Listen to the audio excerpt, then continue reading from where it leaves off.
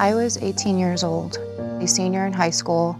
I was a busy mom, a career woman. I was a newly commissioned officer in the United States Army.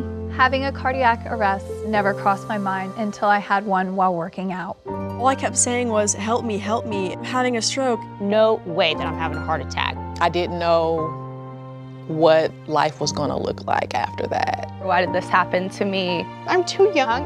It can just devastate you.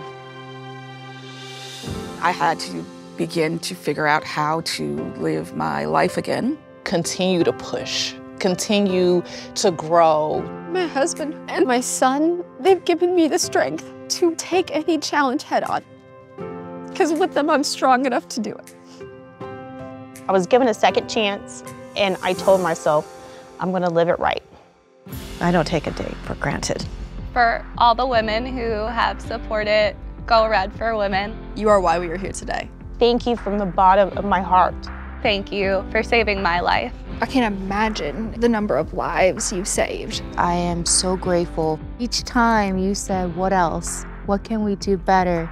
Let's go, let's do it. Continue doing what you do. We need you. Look at where it's got me. So look at what it'll be like in 20 more years. Thank you. If it weren't for you,